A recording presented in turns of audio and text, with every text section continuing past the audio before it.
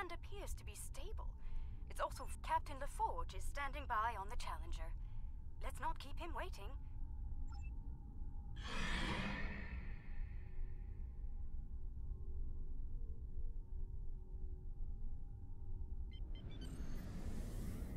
Good to see you. I hope the Dranuur anomaly didn't give you too much trouble getting here. We've been working with the Kentari and the Lukari to study it. We know it's some sort of subspace disruption, similar to what Starfleet has seen in the Delta Triangle. Not only does it cause sensors to behave erratically, but it seems to create a limited sort of cloaking field, both for the planet and the moon. Captain Kuumaarke and I have been collecting data on the anomaly, but we could use some more. Mind lending us a hand before we head down to the colony? Let's begin with a system scan. I've seen some strange data at that level. Same here. It'll be good to get some more eyes on this. Curious. It isn't just our sensors, Captain LaForge. Agreed. Let's calibrate sensors inside the anomaly. It might cut down on the interference. Very well. I indicated an ideal area.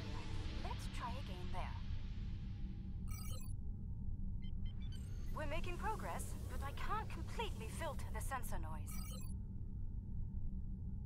Let's study those asteroids. There could be clues in how the anomaly affects them.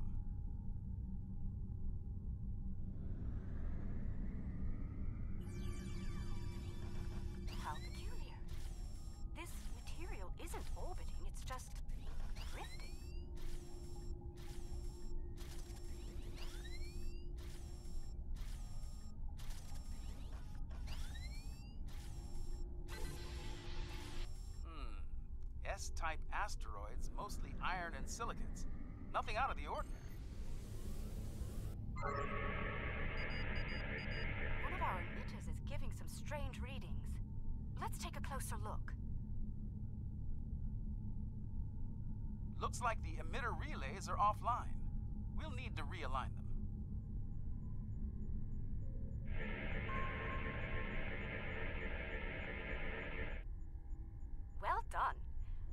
To run a spectral analysis at the indicated area. Let's send a probe to the moon and collect some data on long-term anomaly exposure. Agreed. But we'll need to get closer to the moon first.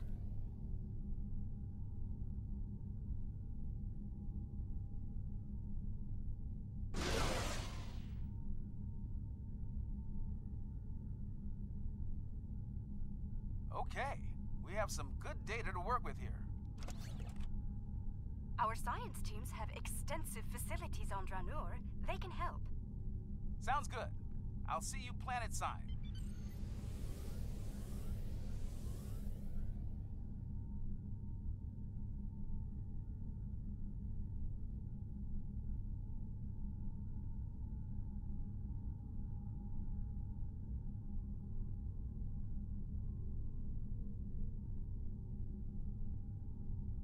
I'm eager to show you the progress we've made here. We've done a lot in a short period of time.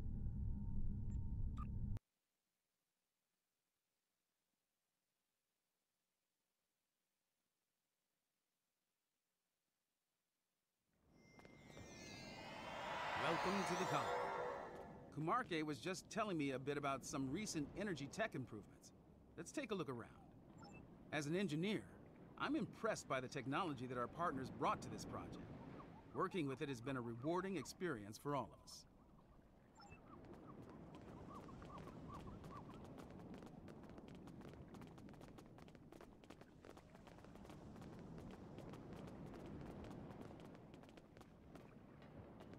Welcome. I'm Kajima, one of the industrial designers.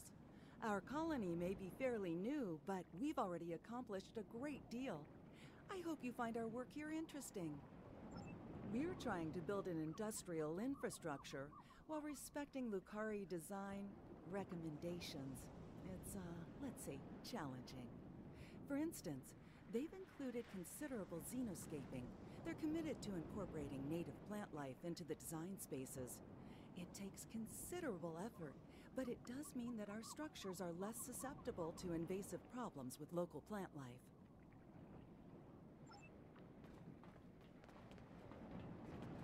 Dranuur's quite the hidden paradise, don't you think?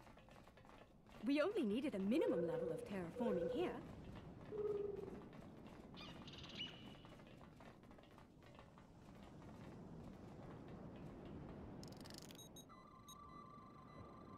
The fusion of Lukari and Kentari technology has been very effective. Our integrated tech output continues to impress. This display will confirm that.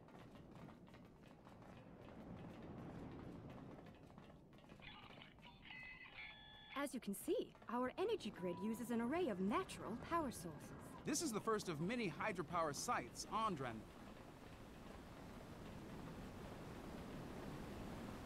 Beautiful, isn't it? Quite a sight, isn't it? I've surveyed the output as part of setting up hydropower here.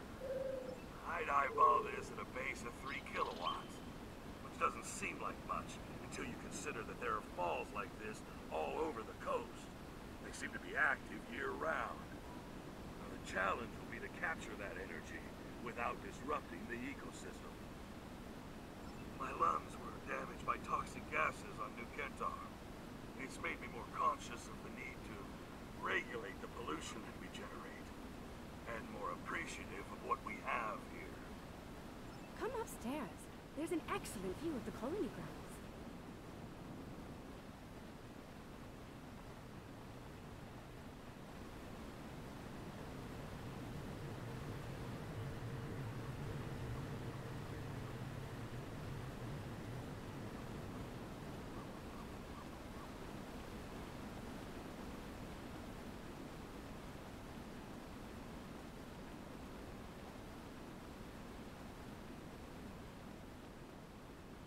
The beauty of this world will survive only if we work to preserve and protect it. Let's head up to the science lab. They're working on some exciting projects. As you can see, we've made considerable progress here. Indeed, I'm quite proud of our achievements. There's more to be done, but the foundation we've laid is solid.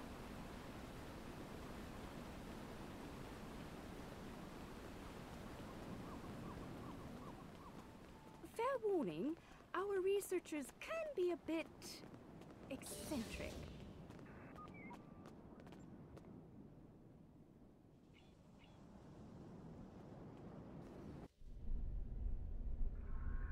We should be able to get results from one of the lab consoles here.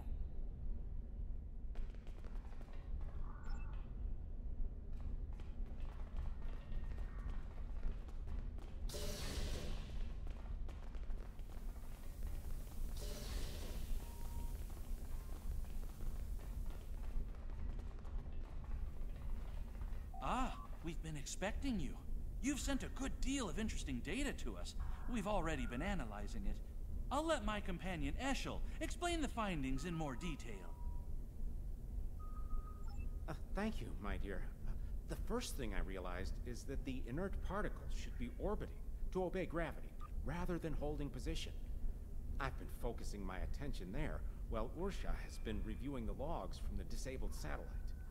Here, check the probe data from the moon. If some outside force was acting on the particles, it should also be affecting the moon. Odd that the moon is still orbiting normally, but the dust particles are not. Hmm. This data says that the moon is 55% germanium crystal. That's unusual. Funny. My ocular implants are picking up a noticeable amount of germanium here. There wasn't any outside. Where did that come from? Ah, we do have a few of the crystals here. Oh, strictly for study, of course. Don't- Don't worry. The anomaly prevents outside scans from detecting them. Oh, they're very safe down here. Here, I'll show you.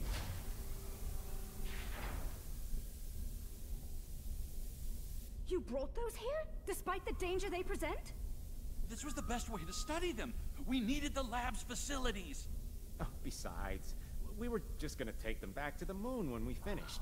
Uh, just a moment. I'm getting a message. Captain Kuumaarke, Zenkethi's ships have just entered the system.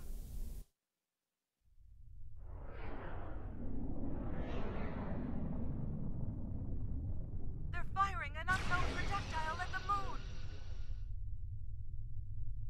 It's some kind of protomatter torpedo. Protomatter torpedo? That's not good. Their ships are turning toward the planet. If they have a torpedo, they may be able to hit us from orbit. The Zenkethi are ruthless. We need to ready our defenses. Why now? Why are they so interested in these crystals? The crystals! They're hatching?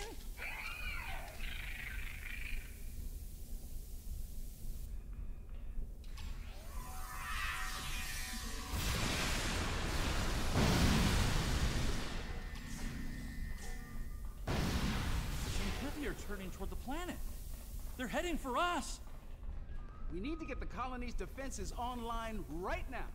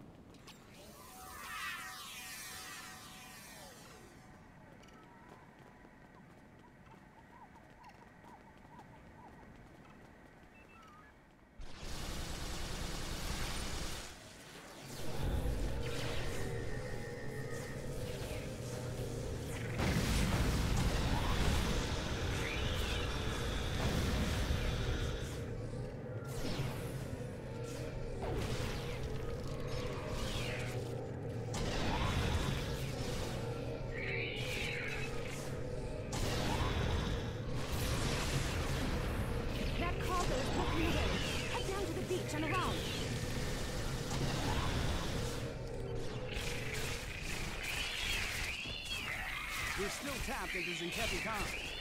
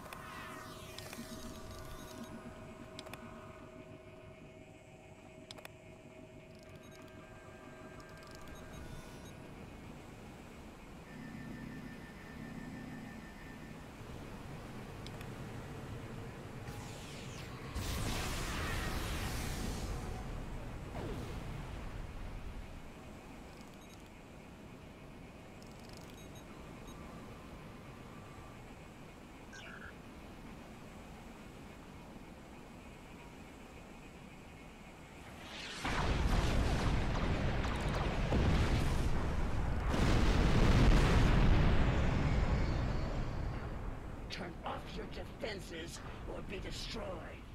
I wouldn't recommend that. Are you here to bomb us or to eradicate this swarm?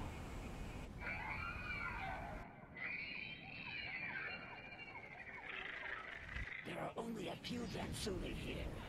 Let's clear this place and be done. Fifty credits has burned sheds of scales again.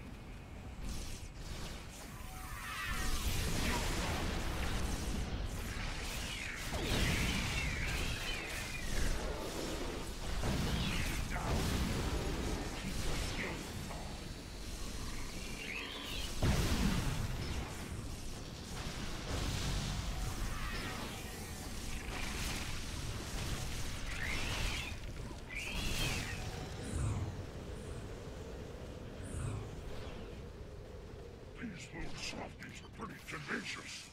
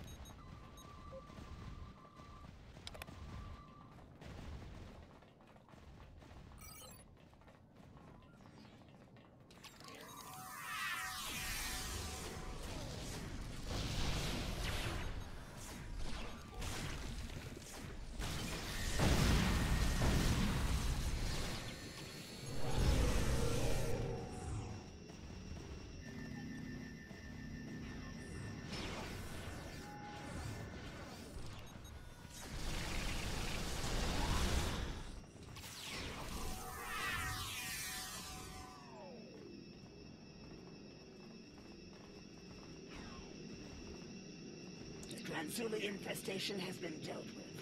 You're Let me check my scanner. The infestation seems to be eliminated. Usually it's best to be absolutely sure, but there doesn't appear to be a need to waste a protomatter weapon. Don't make this mistake again. Take immediate action if you suspect the presence of Transuli.